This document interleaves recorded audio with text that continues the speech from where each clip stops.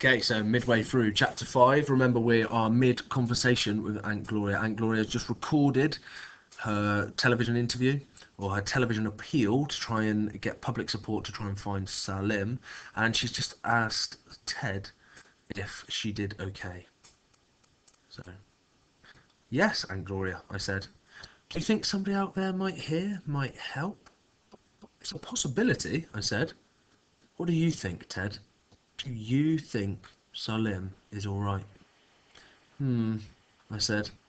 What does that mean? She said. Her face took on its mini ice age look. I was just thinking, Aunt Gloria. The mini ice age thawed. She sighed. Her hand went out and landed on my head. She ruffled my hair the way Mum does. I squirmed. Aunt Gloria didn't notice.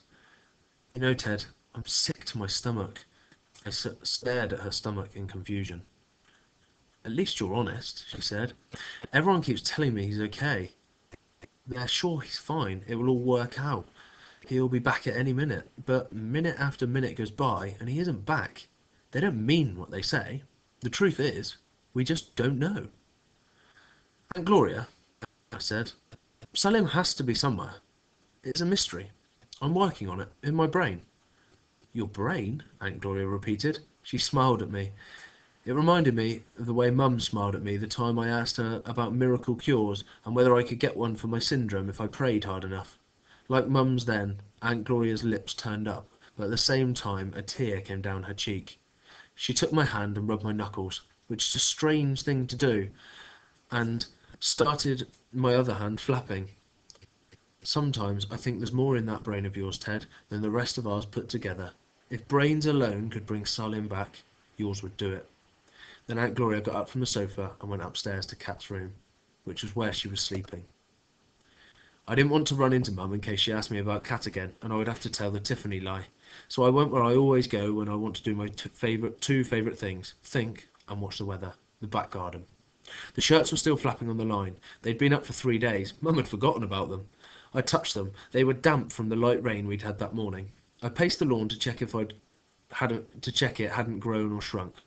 Twelve and a half strides wide and seven across, the same as last week.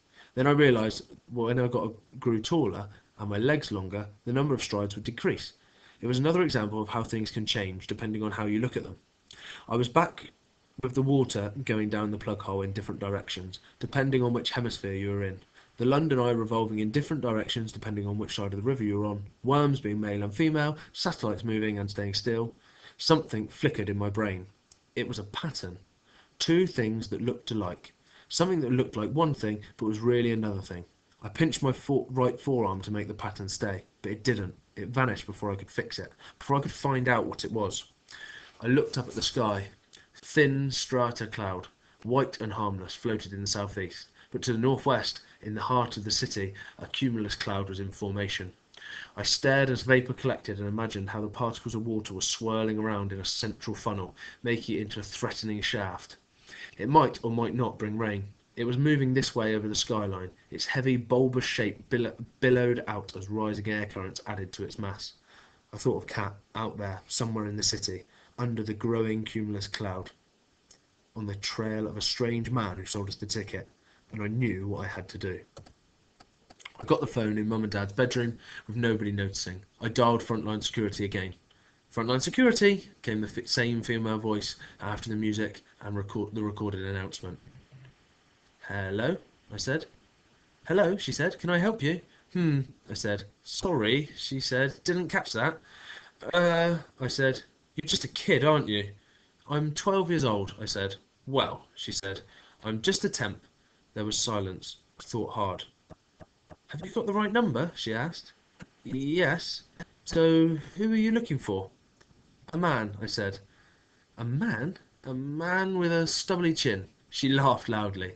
Sounds like Christy. He's the only one here who never shaves properly. You're the second person who's been after him today. I'll tell you what I told her. He's not here. Not here? I'm the only one here today. Oh. I man the phone. I'm manning the phone, so to speak. She laughed some more down the phone. I didn't understand the joke, but I did what Mr. Shepherd told me to do, and laughed as well.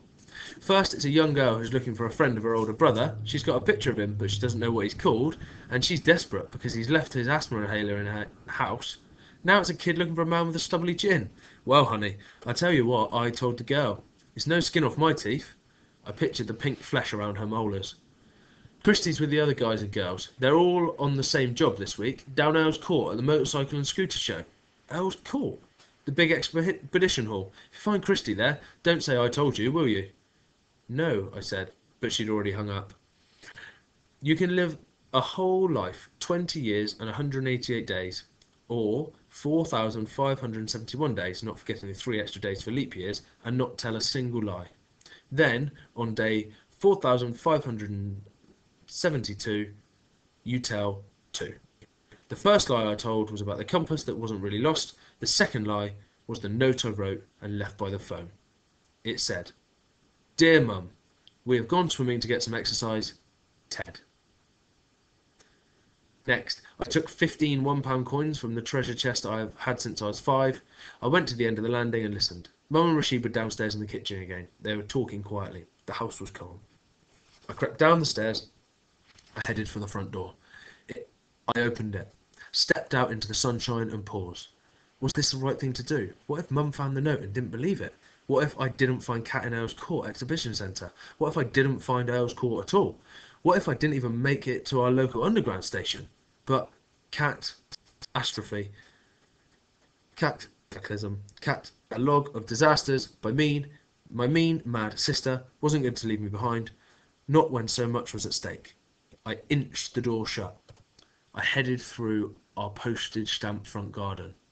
I closed the gate behind me and walked out onto the pavement and down the road. Okay, so I'd like to have a little think, and I'd like you to think about that. Is that the right choice? Will Ted and will Ted find Kat? Will he manage to get there? And a bit of a change in Ted's character here. We're seeing him live for the first time. Okay, so think about some of the other changes maybe we'll see in Ted over the coming chapter.